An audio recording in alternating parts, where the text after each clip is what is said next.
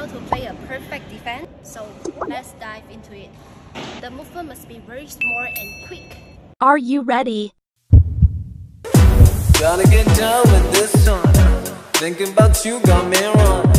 Where's you gotta go from? You on and on, on and on.